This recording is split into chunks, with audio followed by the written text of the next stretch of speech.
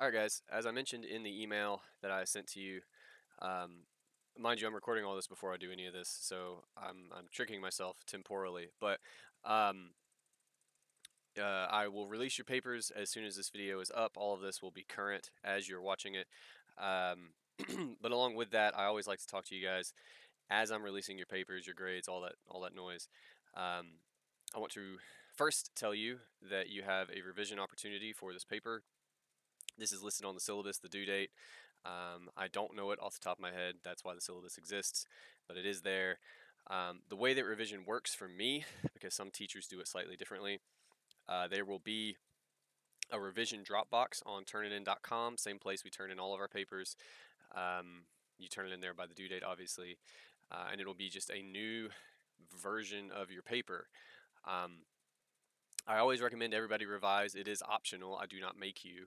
Uh, however, it's one of those things, especially if at the end of the semester someone comes to me and they're like, ah, blah, blah, blah, extra credit. I'm like, well, why didn't you revise, right? Like you, this is a really uh, great opportunity for most of you, especially if you didn't get the, uh, quite the grade you wanted or whatever.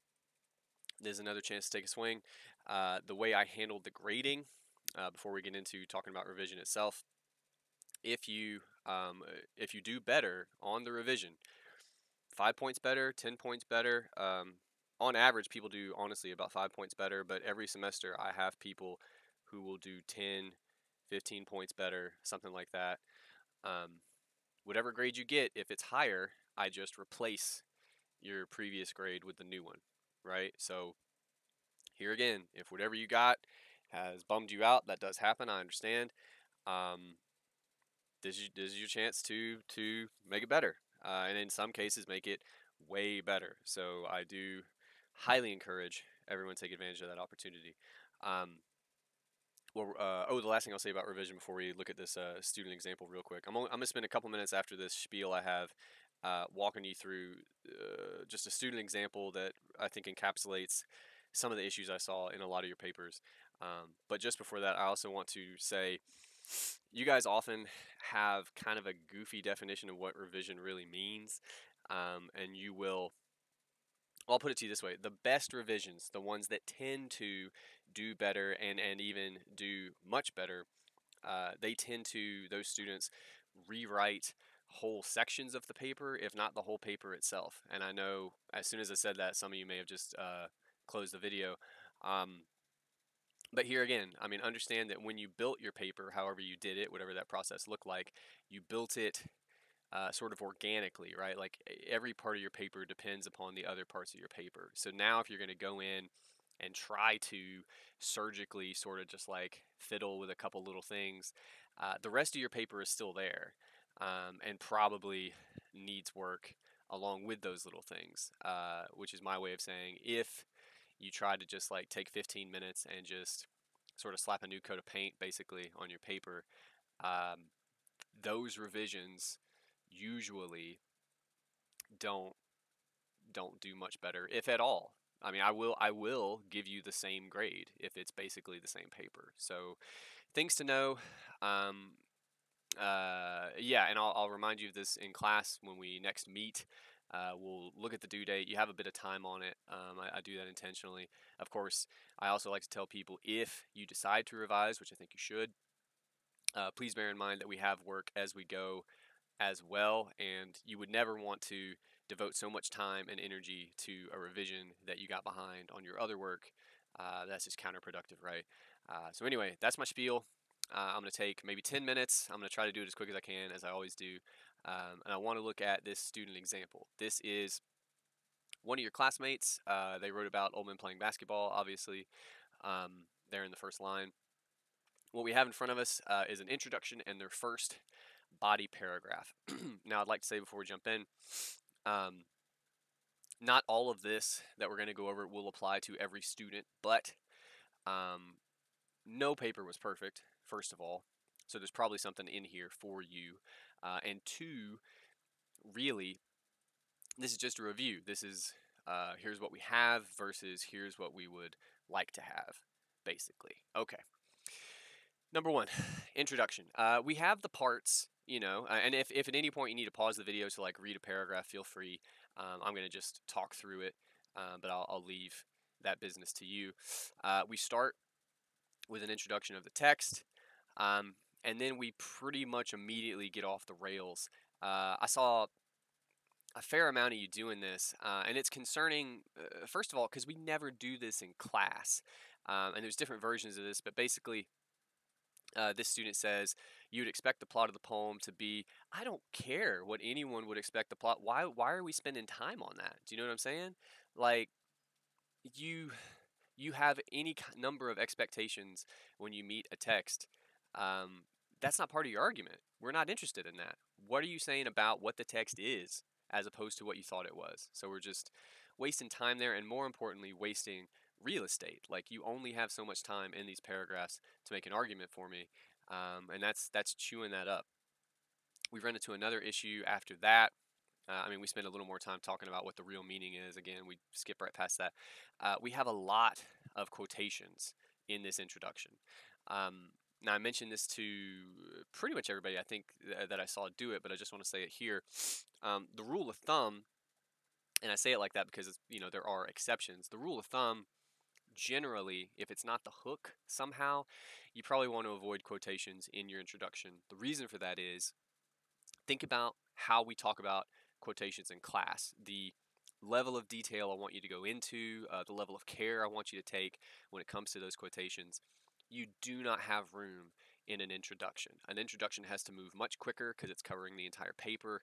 Um, and what ends up happening, and we see it here with the, I think it's three quotations in this introduction, what ends up happening here is that these quotations end up speaking for themselves. Uh, to, to put that another way, you're sort of just slapping a couple lines from the poem in here and you're saying to the reader, to me, you figure it out.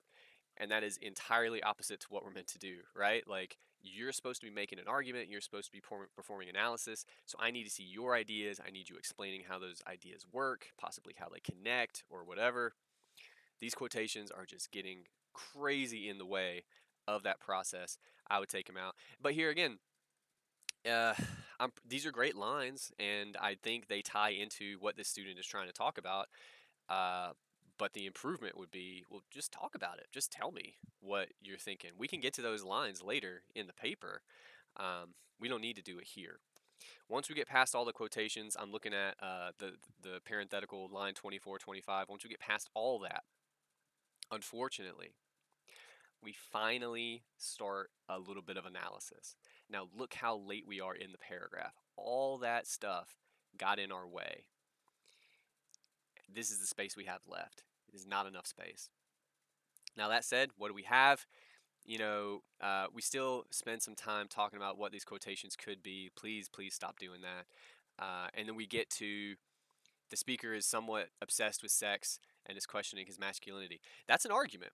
Now, again, the trouble is because we don't have space, we have not explained how we've arrived at that idea. Um, again, I would I would recommend not quoting the lines probably, but you can talk about. I mean, what we're essentially talking about double entendre uh, in a lot of the poem. We're talking about suggestive language. We're talking about um, how the speaker is watching these guys play basketball, but he's very clearly phrasing his observations in a uh, sort of sexual way, right? You can say any of that. Um, and that's weird. Now, that's an observation. That's not really an argument yet, but that's where it starts. And that's kind of what we're talking about. And then from there, if you want to connect that to anxieties about his masculinity or whatever, you can do that. But you, you see already, like, that's a process that we have to start. And we're kind of starting it in this sentence here. And we are damn near out of room when we're starting. That that's unfortunate. Um, all of that is going to lead to. Uh, I mean, their thesis is okay as it is, um, but I think it would probably be a bit more developed if we had more time to develop those ideas, um, or at the very least, again, we would explain those ideas in much more detail, so that we get to the uh, when we get to the thesis, it all just makes more sense, right? That's the introduction. Let's. I'm gonna scroll just a bit. Oh no, I'm not Wait, is going to let me. All right, sorry. I don't do the screen capture super often, so. All right, this body paragraph. Again, if you need to pause it real quick to read over it, go ahead and do that. I will give you like a beat here. Okay, so the body paragraph. Thinking about what we're meant to do in these body paragraphs, how they're meant to be constructed. Again, kind of, uh, we have the parts, you know, the three eyes that we're meant to have, but I would hope for most of you it's super evident um, here in the very first sentence we are off on the wrong foot. Um, at no point in this paper, in, in the process of building this paper, have we talked about outside sources, statistics, any of that stuff. Um, uh, I guess I'll, I'll, give you another rule of thumb here, and this is just as a student. If uh, if a prompt doesn't explicitly ask for outside sources, you are to assume that they are not not only not necessary, but they're not uh, allowed. I guess. Um, so yeah, I, not most of you didn't do this, but I did have a few people that used outside sources, and I'm always really shocked by that. Um, it's just a wild thing not to know. Um, but again, if, if a paper says use sources, then you, you have to. And if it doesn't, then it's almost always don't. Um, so yeah, a, another way to put that is our topic sentence is off topic, and that's a real bummer. Um, now here again, uh, I think it obviously ties into the ideas they want to talk about, but the problem is we are starting from a place that's not in the text. And what that means is that we then have to work our way into the text. So again, the first two sentences, I suppose, um, we could probably lose because they're get the second sentence is is getting there, but you see how it's building from that first sentence to the poem. Uh, when we get to this quotation, which is a good quotation, uh, they don't denote the line break, and that's a problem. Um, but we also don't have context for the line. I'd like to see that. Um, once we do all that, what do we do with the quotation itself? We're kind of quick with it, right? Like we say the speaker is skeptical. I'm not sure what he's skeptical of. I guess I I think they mean he's skeptical of the sexual ability of these old men. I mean, we could just say that. Um, it would whatever we're trying to say. It would always help if we focus, like if we dug into the line more, right? What language are we maybe pointing to to make that observation? How are we supporting our claim?